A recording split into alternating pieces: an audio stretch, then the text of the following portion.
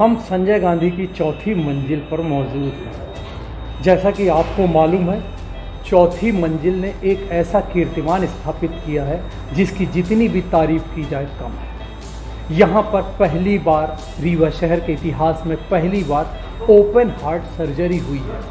उस सर्जरी को करने वाले डॉक्टर रंजीत सिंह जी हमारे साथ मौजूद हैं। अभिजीत सिंह अभिजीत सिंह जी सॉरी माफ़ करिएगा अभिजीत जी हमारे साथ मौजूद हैं। साथ ही वो दो आप अपने टीवी स्क्रीन पर देख रहे होंगे वो दो पेशेंट भी मौजूद हैं जिनकी रीवा शहर में पहली बार ओपन हार्ट सर्जरी हुई है। हम डॉक्टर अभिजीत से जानेंगे उन्होंने ये किस तरीके से ये किया।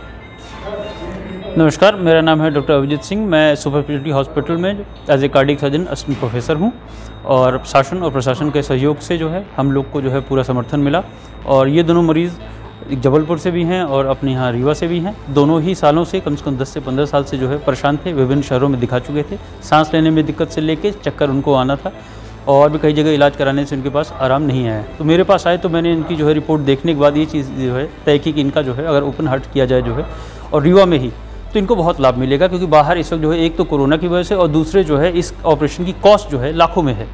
तो ये मरीज़ उससे बहुत ज़्यादा परेशान हो जाते हैं। तो हमने यहाँ, हमें, हमारे सुप्रिटेंडेंट साहब जो है और कमिश्नर साहब, कलेक्टर साहब सबका बहुत सहयोग मिला टीन साहब इंक्लूडिंग, और उनके ही सपोर्ट से स्टाफ हमने जो है, विभिन्न प्रदेशों के लाए। हमारे साथ सीनियर कार्डिक टेक्नीशियन जो है सुबोध त्रिपाठी जी भी हैं। तो इन लोग के सहयोग से जो है, आठ से नौ लोग की एक हम लोग ने तुरंत टीम बनाई जो है, और त्वरित जो है, हम लोग ने इसमें निर्णय लेते हुए जो है, ओपन हार्ट सर्जरी की, जिसमें कि कार्डियो बाईपास करते हैं। पूरे मध्य प्रदेश में सिर्फ़ रीवा सुपर स्पेशलिटी हॉस्पिटल में दो मशीनें हैं कार्डियो पल्मोनरी बाईपास की। एक एक करोड़ की एक मशीन आती है और दो हमको शासन की तरफ़ से मिली हैं, जिसमें हृदय गति रोक दी जाती है, फिर हम हार्ट को ओपन करते हैं वॉल्व को बदल के और वापस हृदय में हृदय गति ले आते हैं जो है। तो ये उसके प्रोसीजर ये एक और बड़ी बात, रीवा के सुपर अस्पताल में दो ऐसी मशीनें जो पूरे मध्य प्रदेश में नहीं है। जी हाँ इंदौर भोपाल में जो चीज़ ना हो और वह चीज़ रीवा में हो ये अपने आप में रीवा शहर के लिए गौरव की बात है। डॉक्टर साहब एक सवाल और भी है। जी। जिस तरीके से रीवा के लोग अभी तक बाईपास के लिए बाहर जाते हैं जी। तो क्या अब ये माना जाए? उनकी ये सबसे बड़ी समस्या आपने दूर कर दी? जी। हम इसके लिए प्रयासरत हैं क्योंकि हमको पता है कि उम्मीदें बहुत ज़्यादा हैं और हमको अपनी कैपेसिटी धीमे धीमे बढ़ानी पड़ेगी। क्योंकि पहले शुरू में हम लोग केसेस करके ये देखा कि कितने पेशेंट को हम लोग जो है ठीक ठाक केयर कर सकते हैं, क्योंकि एक साथ बहुत ज़्यादा केसेस कर देने से उतना हमारे पास स्टाफ है वर्क पावर है कि नहीं। तो हम जैसे जैसे देखते जा रहे हैं पेशेंट ठीक होते जाएँगे तो उस हिसाब से हम अपना वर्कलोड बढ़ाएँगे और ज़्यादा से ज़्यादा मरीजों का कम से कम समय में ऑपरेशन करेंगे। निश्चित रूप से एक बड़ी बात है।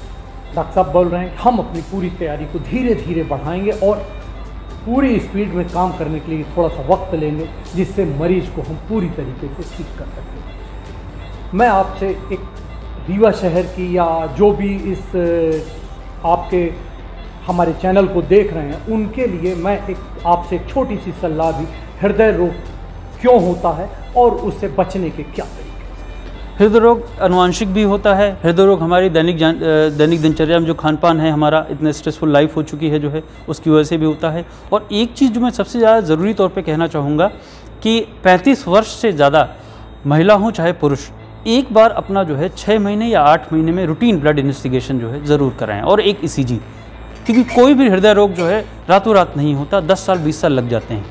शुरुआत उसकी जो है पैंतीस से उम्र से, जैसे हम आगे बढ़ते हैं, हम लोग का शरीर सा फिर बूढ़ा होने लगता है। ये बीमारियाँ तभी शुरू होती हैं, अगर होनी होती हैं तो। उस वक्त शुरुआती जाँच में ही सारी चीज़ें पकड़ में आ जाती हैं और अगर रूटीन इन्वेस्टिगेशन में भी एक ईसीजी और रूटीन ब्लड इन्वेस्टिगेशन भी बहुत काम करेगा, क्योंकि शुरू में ये चीज़ें ऑपरेशन नहीं, दवाइयों से ही ठीक हो सकती हैं। तो इस चीज़ की जो है लापरवाही न करें, सिर्फ़ छः महीने में सब कुछ बाहर से ठीक महसूस हो रहा हो, तब भी ये ना समझे कि अंदर से सब कुछ ठीक है। एक बार जाँच करा लिया करें। डॉक्टर साहब एक जैसा कि ये बीमारी बहुत ज़बरदस्त तरीके से होती है और इस बीमारी में अस्पताल तक पहुँचने का कभी कभी लोगों को वक्त भी नहीं मिल पाता। तो अगर ऐसा लगता है किसी को भी कि हमें हार्ट की प्रॉब्लम होने वाली है जी। और पेन चालू होता है जी। तो उस समय प्राथमिक उपचार क्या होना चाहिए? सबसे पहले जो है तो उनको जो है नियरेस्ट जो है डॉक्टर को कंसल्ट करना चाहिए। कभी ये मत सोचिए कि गैस की ये प्रॉब्लम है या ऐसे ही आज बहुत थक गए हैं, ये दर्द हो रहा है, कभी इसको हल्के में मत लीजिए। अगर छाती के आसपास कोई भी दर्द हो रहा है तो सबसे पहले जाँच पे ही भरोसा कीजिए। जाँच में अगर आता है, हृदय रोग नहीं है, तभी मानिए। खुद से स्वयं से डॉक्टर ना बने नियरेस्ट कोई भी डॉक्टर हो, उनको सबसे पहले अप्रोच करें और उनसे जो है एक बार उपचार ज़रूर कराएँ प्राथमिक उपचार के लिए तत्काल डॉक्टर से संपर्क करें। ये है के लिए सबसे ज़रूरी चीज़। जी हाँ प्राथमिक उपचार के लिए सबसे पहले नज़दीकी डॉक्टर से ज़रूर ही कंसल्ट करें, उसके बगैर काम आपका नहीं चलेगा। डॉक्टर साहब, न्यूज़ नेटवर्क टुडे से बात करने के लिए आपका बहुत बहुत धन्यवाद। और तमाम रीवा शहर की ओर से आपको ढेर सारी बधाई। रीवा शहर में ओपन हार्ट सर्जरी प्रारंभ करने के लिए। घर पर रहिए, सुरक्षित रहिए, अपना और अपने परिवार का बहुत बहुत ख्याल रखिए। अगर आपने चैनल को सब्सक्राइब नहीं किया है तो चैनल को सब्सक्राइब करें और बेल आइकन दबाएँ। और देखते रहिए न्यूज़ नेटवर्क टुडे।